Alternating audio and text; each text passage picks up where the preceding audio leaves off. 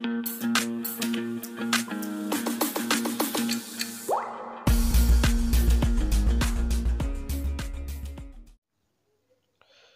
Students, last video में हम लोगों ने देखा था how does evaporation cause cooling और आज का हमारा टॉपिक है। आज मैंने कहा था आपसे कि जो येलो बॉक्स में आपको दो टॉपिक्स दिए हुए हैं कि जो स्टेट ऑफ़ मैटर इन्होंने कहा था कि दो और ऐड करें।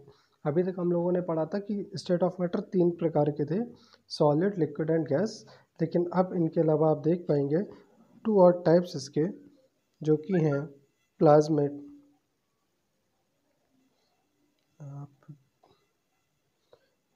जिसमें एक है प्लाज्मा और दूसरा है बोस आइंस्टीन कंडेंसेट चलिए, दोनों के बारे में जान लेते हैं। क्या होता है प्लाज्मा तो प्लाज्मा जो स्टेट है इसमें आपको याद रखना इसके जो पार्टिकल्स होंगे वो सुपर एनर्जेटिक होते हैं और सुपर एक्साइटेड होते हैं। ठीक? तो अगर आपसे कोई पूछे क्वेश्चन आपका ये बन गया कि प्लाज्मा के जो पार्टिकल्स होते हैं, वो कैसा इफ़ेक्ट दिखाते हैं तो आप बता पाएँगे कि वो सुपर एनर्जेटिक होते हैं एंड सुपर एक्साइटेड पार्टिकल्स होते हैं। ठीक है? ये particle these particles are in the form of ionised gas ये कैसी फॉर्म में अगर आपसे कोई पूछे कि जो प्लाज्मा के पार्टिकल्स हैं, वो कैसी फॉर्म में होंगे तो हम कहेंगे आयनाइज्ड गैस फॉर्म में। तो ये भी एक क्वेश्चन बनता है आपके लिए। चलिए, इसके बाद अगर आपसे कोई पूछे कि एग्जाम्पल्स कौन से होंगे प्लाज्मा स्टेट के तो आपको पता है fluorescent tube and neon gas ठीक है तो ये आपके एग्ज़ाम्पल हो जाएँगे।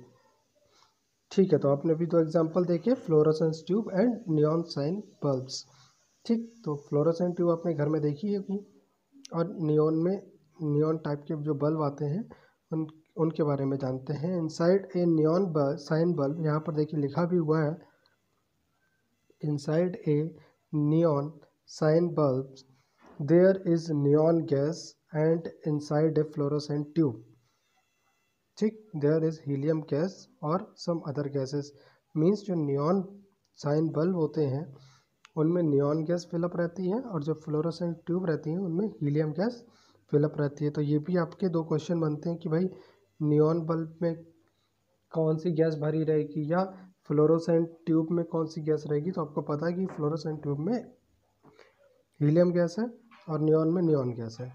ठीक the gas gets ionised that is get charge when electrical energy flow through it अब अच्छा इसमें इलेक्ट्रिकल एनर्जी फ्लो कैसे होती है? तो हम ये कह सकते हैं कि जो जो गैस के, इनके पार्टिकल्स होंगे, वो आयनाइज हो जाएँगे और आयनाइज होकर ये इलेक्ट्रिक एनर्जी फ्लो कर देंगे। This charging up creates a plasma glowing inside the tube और बल्ब और इस टाइप की जो, जब आपस में आयंस टकराएँगे, कह सकते हैं तो चार्ज डेवलप होगा और चार्जिंग अप क्रिएट से प्लाज्मा ग्लोइंग और जो आपका प्लाज्मा होगा वो ग्लो करने लगेगा। ठीक है? या कह सकते हैं कि आप जो जल उठेगा, ठीक है, the plasma glows with a special colour depending on the nature of gas. अब प्लाज्मा का कलर डिपेंड करता है कि उसमें कौन सी गैस भरी गई है। The sun and the stars glow because the presence of plasma. इसमें और इन्होंने बताया कि अगर कुछ नेचुरल आप एग्जांपल लेना चाहेंगे तो सन एंड स्टार्स हैं। तो ये भी इनमें प्लाज्मा फिलअप रहता है, जिसकी वजह से ये कह सकते हैं ग्लो करते हैं।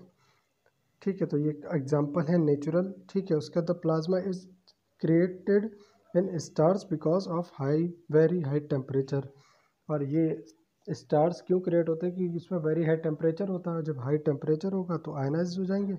और हमें ग्लो करते हुए दिखाई देते हैं। अच्छा ये आपको भी पढ़ेंगे हम लोग जब अभी हायर क्लासेस में कि एक प्रोसेस होती है न्यूक्लियर फिजन की, जिस वजह से लगातार सन और स्टार्स में एनर्जी बनी रहती है। ठीक, इसके बाद है बोस आइंस्टीन कंडेंसेट ये फिफ्थ स्टेट हो जाएगी आपकी। चलिए इसको भी देख लेते हैं। 1920 Indian physicist Satyendra Nath Bose had done some calculations जो 1920 में इंडियन साइंटिस्ट थे सत्येंद्र नाथ बोस, उन्होंने कुछ कैलकुलेशन करी for a fifth state of matter जो कि फिफ्थ स्टेट ऑफ़ मैटर के लिए थी। बिल्डिंग ऑन हिज कैलकुलेशंस जो भी उन्होंने कैलकुलेशन बिल्ड करी Albert Einstein predicted a new state of matter और अल्बर्ट आइंस्टीन ने प्रोडिक्ट करा उन कैलकुलेशंस के बेस पर एक नई स्टेट ऑफ़ मैटर को। द बोस आइंस्टीन कंडेंसेट जिसको नाम दिया गया the Bose Einstein condensate BEC और ये हुई इन 2001 2001 में एक Cornell Wolfgang, Ketterle and Carl E Wieman of USA receive the Nobel prize. इन तीन साइंटिस्ट को Eric E Cornell Wolfgang Ketterle and Carl E Wieman जो कि यूएसए के थे, उनको नोबल प्राइज़ दिया गया। फिजिक्स में अचीविंग बोस आइंस्टीन कंडेंसेशन ठीक है? The B C is found by cooling gas of extremely low density B C कैसे हमें मिलेगा? तो हम कह सकते हैं कि जो गैस होगी उसको बहुत हाई बहुत सॉरी बहुत लो डेंसिटी पर अगर हम उसे कूल करते हैं, ठीक है तो हमें बी सी स्टेट मिलती है about one hundred thousand the density of normal air इसकी जो डेंसिटी होती है, वो बहुत लो होती है, जो कि वन हंड्रेड थाउज़ेंड ठीक है ऑफ़ नॉर्मल गैसेस तो उसके comparatively one thousand one hundred thousand low होती है, ठीक है। टू सुपर लो टेम्परेचर बहुत कम टेम्परेचर पर, ठीक है you can log on to camp for kids आप कैम्प फॉर किड्स को ओपन करके इसके बारे में और भी जानकारी प्राप्त कर सकते हैं। और इसी के साथ आपका ये चैप्टर ख़त्म होता है। तो स्टूडेंट्स आपके, आपको इस चैप्टर से रिलेटेड सारे क्वेश्चन करके देखने होंगे और जो क्वेश्चंस आपको लगते हैं कि ये क्वेश्चंस नहीं है तो आप हमें कमेंट सेक्शन में बताइए, हम उसके आंसर आपको प्रोवाइड करेंगे। और मैं कोशिश करूँगा कि इसके आप, और इसके नोट्स आप लोगों को सेल्फ बनाने होंगे। ठीक है तो आपने नोट्स प्रिपेयर कर लीजिए। और अगर इसमें भी कोई प्रॉब्लम रह गई इस चैप्टर में तो आप बता सकते हैं कमेंट कर कर। अगर आपको ये वीडियोस पसंद आते हैं, मैं फिर से आपसे कहूँगा तो लाइक कर लीजिए। आगे के वीडियोस के लिए चैनल को सब्सक्राइब करना बिल्कुल ना भूलिए। आपका सब्सक्रिप्शन इंपॉर्टेंट रहता है हम लोगों को, एक कॉन्फिडेंस देता है कि हाँ आप हमसे जुड़े हुए हो। ठीक है? तो जिससे हम लोगों को आपके संग काम करने में और इंटरेस्ट पैदा होता है और हम और अच्छे दिन ब दिन अपने में सुधार लाते रहते हैं। ठीक है? तो आप कोशिश करिए कि जितना भी हम लोगों ने पढ़ लिया इसको आप रिवाइज कर लीजिए और इससे रिलेटेड क्वेश्चन कर कर देखिए। चलिए, आज के लिए इतना ही क्लास और नेक्स्ट हम लोगों का चैप्टर टू शुरू होने वाला है तो बी प्रिपेयर फॉर डैट